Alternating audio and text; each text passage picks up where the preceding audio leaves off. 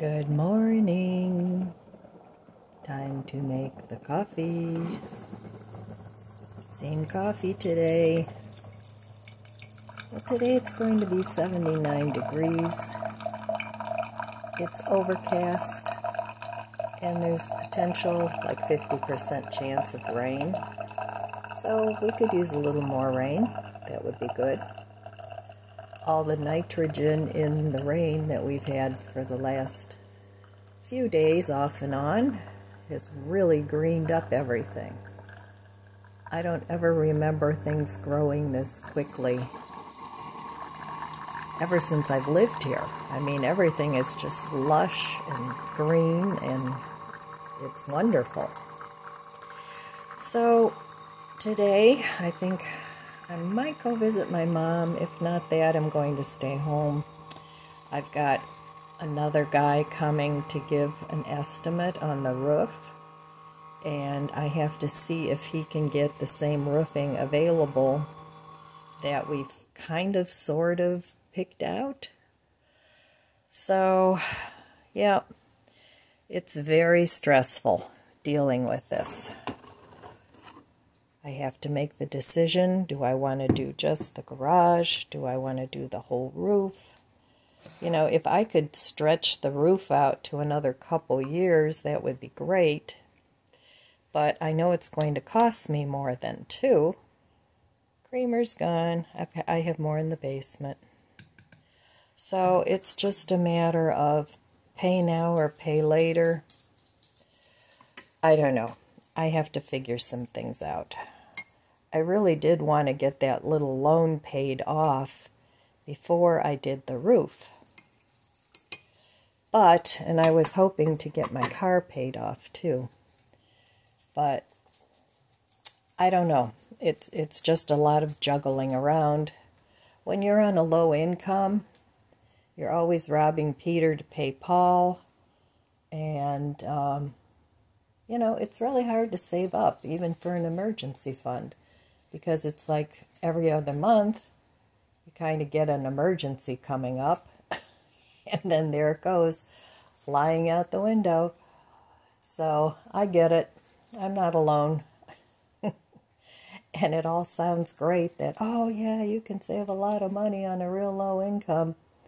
But in reality, you know, unless you're super, super disciplined, and you don't allow yourself any pleasures, it's really difficult.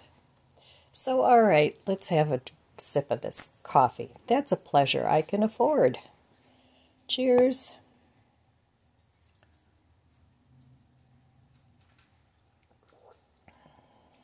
Okie doke. That'll do. So I'm not you know, I'm not a high end gal where I have to have everything the most expensive and, you know, I don't buy designer clothes. I, you know, I don't have my Starbucks every day. I, I'm just, I've never been like that. You know, even when I had my kids, um, I didn't buy them designer clothes. I bought them nice clothes, but, you know, it didn't have to have that label slapped on it because I didn't care about stuff like that. And um, I kind of wanted to teach them not to care about things like that too. So um, I'm I'm pretty much happy with my life. But you know when when things like this come up, like a roof or windows, or we're not talking about hundreds of dollars. We're talking about thousands of dollars that are going to take a while to repay. And then you keep your fingers crossed and say a prayer that you don't have another big bill coming up on top of that, because that's how people get into trouble. You know, sometimes you just have to fix what you have. And, you know, it's great saying, okay, I'm going to DIY it, but I DIY what I can. But, you know, as you get older, that's just not possible anymore. I did that when I was younger. I I did flooring. I I did you know tile work in the bathroom when that was leaking. I've always been very independent and self-sufficient, but there comes a time in your life where you just you can't you can't physically do all that stuff anymore. So then you have to figure out something else. And I do not want to sell my home and move into an apartment. I just don't want to do that. So, um, anyway, I guess I'll just have to bite the bullet and make a decision on what I'm going to do. Only garage for now or the whole the whole roof. But making decisions like that is stressful. So I think I'm going to have to do a little meditating on this, a little praying on it for guidance, and see what I come up with. All right, well, for now, I'm going to take a breath and I'm going to enjoy my coffee, get out a pen and paper, and try and make a plan. And I will meet you at the budget book. Okay, here I am back at the budget book. So yesterday I get a red X. I did spend some money. Um, my friend and I went to Burger King. I bought myself a burger, well, Impossible Burger. And they, they had a deal going where it was two small meals for $12. So I also got my uh, grandson a burger. And um, so I, I got two meals for $12. So not breaking the bank. So anyway, uh, I was sitting here this morning adding up my monthly bills and trying to figure out this roofing situation, what I can afford, you know, what how much the payments can be. I have to call a finance company. They have same, uh, the one roofing company has uh, 12 months same as cash. Well, obviously, I won't be able to pay off $9,000 in 12 months unless the payments are really up there. So um, I have to check that out. And then my banker was telling me the last time I was in there in the bank, I was talking about the roof and the windows, and he said there's some sort of senior program where you can get a loan for home improvements for 3% loan. I don't know. I have to make an appointment with him. Um, he's somebody I trust. I've been banking with, and I really trust him. So um, I need to make an appointment, go talk to him, and see what my options are. So, anyway, that's the plan. Um, so, I wanted to go, all my bills come due at the beginning of the month. So I want to go over my bills and actually what I pay here in Ohio on bills, and you can compare it to what you pay. Like if you live in California, I know it's going to be way more. Some states, it's going to be way less. So uh, it's kind of nice to compare, you know, where you live uh, to see if if you're basically getting screwed. But anyway, so let me go over some of my monthly bills. All right, so here is my, um, let me see if I can get this focused. Here is my uh, tracking sheet that I fill out every month. Now this month, I still owe about 3000 on this loan. So this month I paid off 500 so um, I was hoping to pay, usually I pay 250 a month, but I was hoping to get this paid off sooner. So this month I paid 500, but then of course we've got this other issue. Now my car payment, I owe 7,000 something on that. So my monthly payment for that is 321.33. And then I have my my bills. I don't include this in here. So I probably should, but I don't. All right, well, my bank charges a checking fee. That's another thing I want to talk to my banker about because sometimes he'll remove that. Our association fee every month is $148, which really is not bad because they do snow plowing, they do maintenance for the lawn, um, they do mulching once a year, and they also trim the bushes.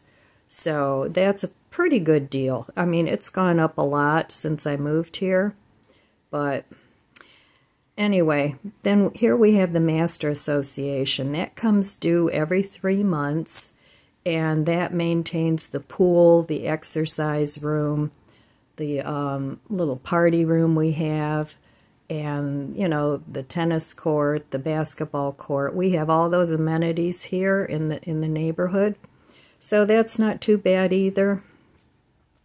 This is my health care. I get it through United Healthcare. I have AARP, and yes, I know AARP is uh, a little on the woke side, but you know they've paid all my medical bills. I've never had a problem. I've never had to, you know, fight for them paying something. So I'm leaving that the way it is. My property taxes have gone up again.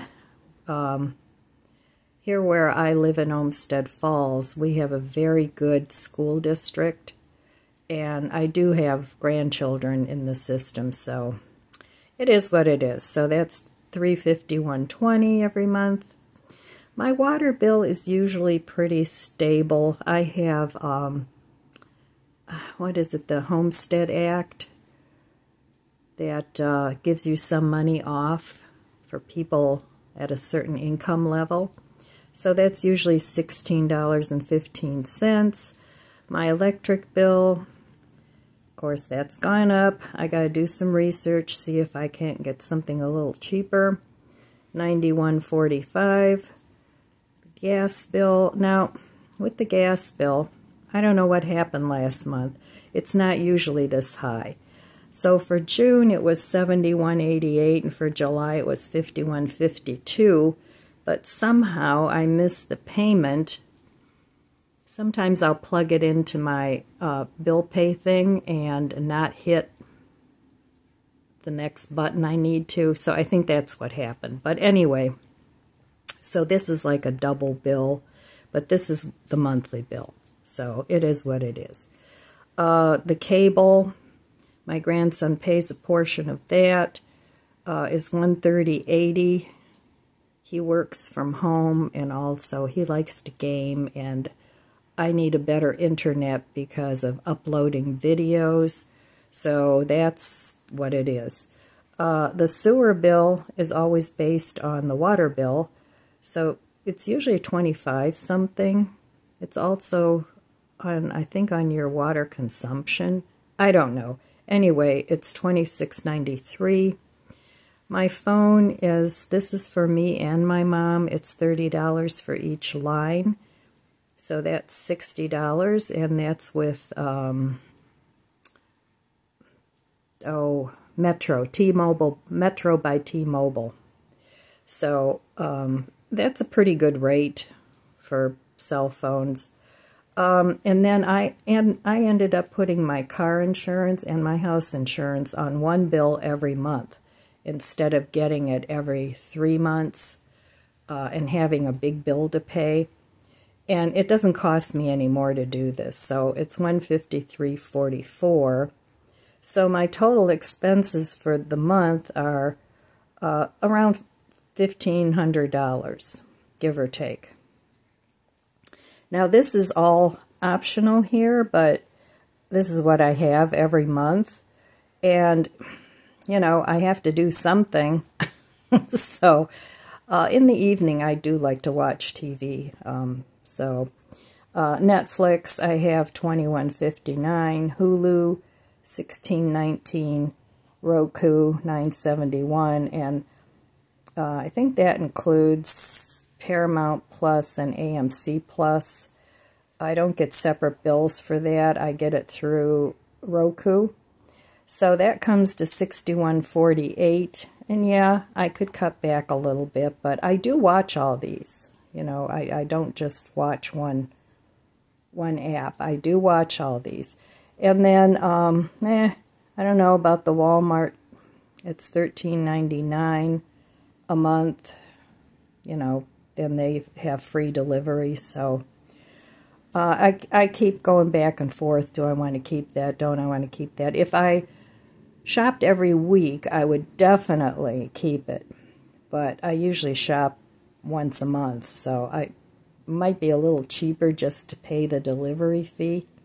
But anyway, so everything all together, not including my car payment and my loan repayment, comes to this amount, 1556.34. So, I mean, if I put my car payment in there, that's another 300, uh, you know, so it's it's up there. So that's my income basically gone. Um, not a whole lot of wiggle room in there for savings, but I'm trying. I'm doing the best I can. So anyway, that those are my bills for July, and I need to do a little tweaking and see where I can squeeze out some more money. So, okay, uh, I'll be back in a little bit, and we'll see what else is up. All right, well, I want to talk a little bit about decluttering. I have a lot of dishes, and this is just not even a portion of it, a small portion of it. I have a lot of dishes. So my new plan is, now I could sell this stuff, but honestly, when once I make the decision to get rid of something, I want it gone so I can't change my mind and start putting things back again. And when you go to sell things, either on Marketplace or Craigslist or whatever, that item is still in your house. It's still waiting on your mind. And when I make the decision, I want it gone. So anyway, these beautiful mugs are part of my dish set. Now I had 16 of these at one point. Um, so those I've kind of pared down already. I could probably get rid of a couple more plates. I'm not sure about that yet. I have to decide. But I don't need all these mugs. So what I'm going to do is um, I have four of these. I'm only going to keep two. Um, I have this brown one I'm going to get rid of. I have two of the green, so I like those. I'm going to keep those. But the rose mugs, I'm going to get rid of all but four. And then I have, you know, various other ones. So I don't need all these mugs. The glasses we use, I'm going to keep those. And then, like I said, I'm, I'm not quite sure. Sometimes we're down plates, you know, so I'm not sure what I'm going to do with those. Um, same with the soup things, the bigger mugs. I'm not sure about those either. But just getting rid of a lot of the mugs is going to free up some space and make things much easier to put away because every square inch, now some, I have dishes, uh, dirty dishes in the dishwasher now, but it's like every square inch of every shelf has something on it. And I'm trying to make it a little more open. So that's some of my dishes. So I'll show you in my dining room what my plan is for that. So in here I have my dining room dishes. And again, I have a service for, I think it's 16. I don't need 16 plates and things anymore. I'm going to keep either four or six, and the rest I'm going to get rid of. Um, I have a lot of little doodads and things in here that I really don't want anymore. My whole point is this these cabinets are dirty. They're dusty, they're, you know, and I just don't want to take care of it anymore. I don't want to have to take all this stuff out a couple times a year and wash it. So I'm going to get rid of at least half of everything. And if I really like something, I'll just keep either two or four of whatever it is I have. Now I have one in the corner here, and then I have another one with more dishes in the corner there, and then I have all these dishes here. So I'm going to do the same thing here. This is a different set of dishes, so I'm keeping four of those plates. I think I have eight. And I'm just going to donate them. I'm going to donate it to my senior dogs. I feel good about donating to those people. So, and then eventually, if I get enough room, I really like these corner cabinets, these over here, but I'm seriously thinking about selling this and just getting more room here in the dining room.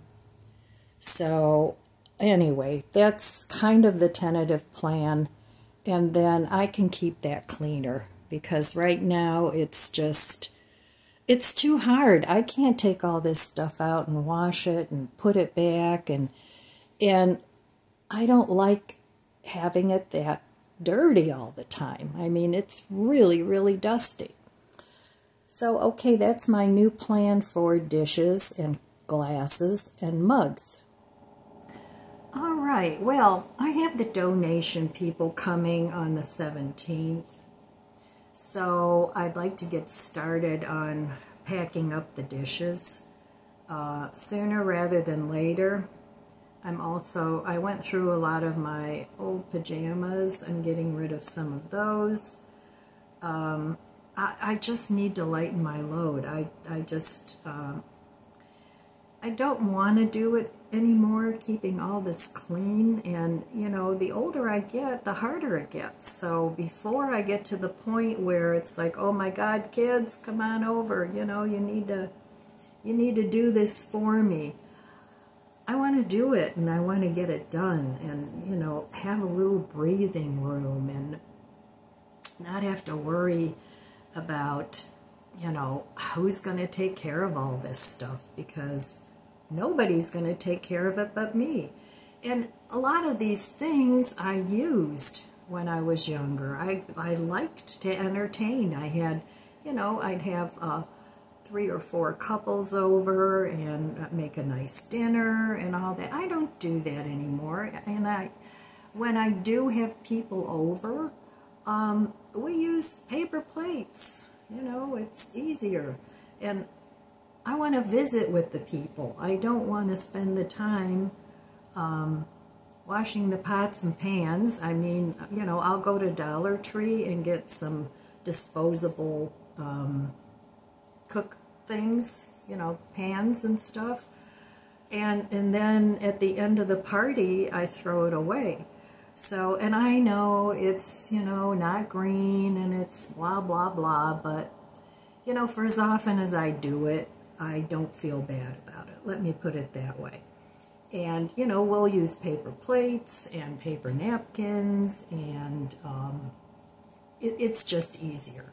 So, like I said, I want to visit with my people. I don't want to spend the whole time at the kitchen sink washing the dishes and putting them in the dishwasher and the next day putting them all away.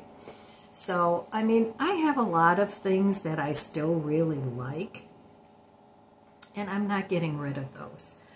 And even my dishes um, that I want to get rid of, I'm keeping some of them because I do like them. And if I ever do have a guest or two over, I'll have enough.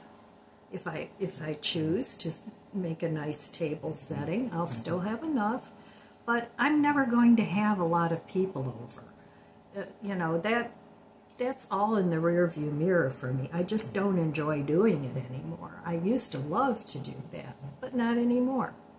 So that way it'll free up time where I'm not fretting about, oh my goodness, look at that cabinet. It's disgusting. I need to clean it. And I don't have the energy or the time to do it. So anyway, that's my new strategy for um, decluttering and getting rid of things. And um, I want to do it in a peaceful way. I don't want to have to um, get stressed out about it. You know, I'll pack up some things every day. I'll put it in the garage if, if I can find some room. If I have to, I'll leave my car in the driveway until the declutter people come. and um, pack it up. And then when they come, I just put it in the driveway and they pick it up. So it's, it's a perfect situation. So anyway, that's the plan. And hopefully I can start working on that.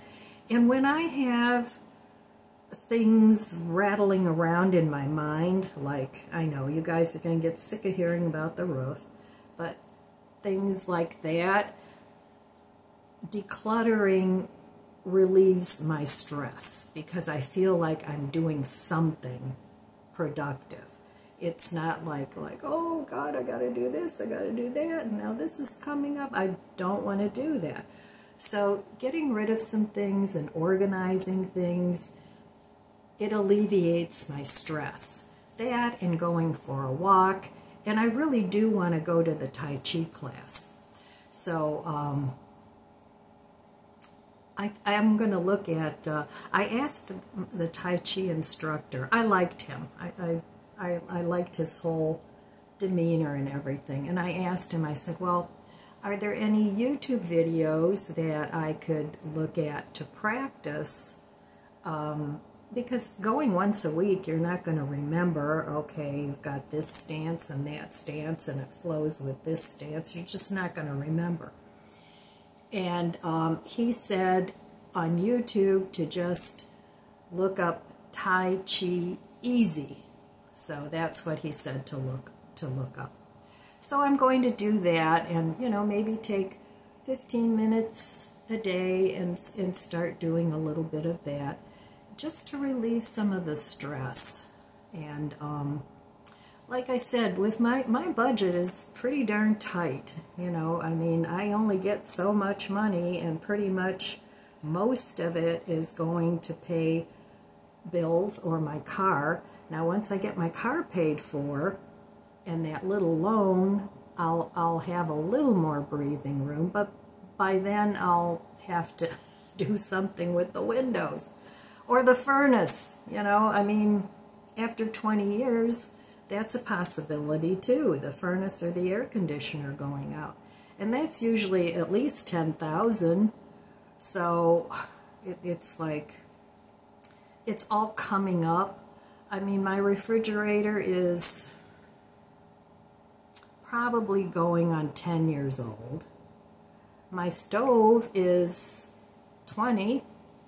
Um, I don't use my oven that often, so I have my toaster oven. So even if the, the oven went, I'd be okay uh, because I have the, the microwave that doubles as an oven and also my toaster oven. So I could put off getting a new stove. Um, and I only use the same burner most of the time over and over. So unless all four burners go out, you know, I could still continue to use my stove. My dishwasher is probably mm, about six, seven years old. So it's not original with the house. I already replaced that. Already replaced the refrigerator. Hopefully that'll last another five years anyway. Uh, and then, of course, the washer is new. The dryer is 20 years old. Um, I did not replace it when I replaced the washer because the dryer was still good. So there was no point in my, you know, I'm not going to get rid of something that's still decent just to have it match. I mean, they're both white, but, you know, it's fine. It works great. So anyway, um, those are my plans. we'll see how I do. And, uh, that's what I think. What do you guys think? Leave me a comment below. Let me know how you're decluttering, why you're decluttering what. So, like I always say, I don't want to over declutter because I don't want to have to go out and buy new. So, this is how I figured out what would work for me.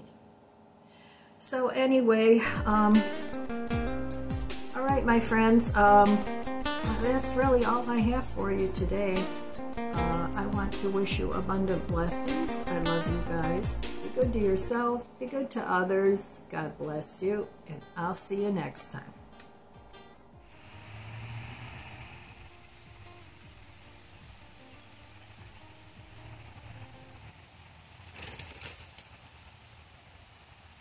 If you enjoyed this video, please subscribe, comment, and like. Thanks for watching.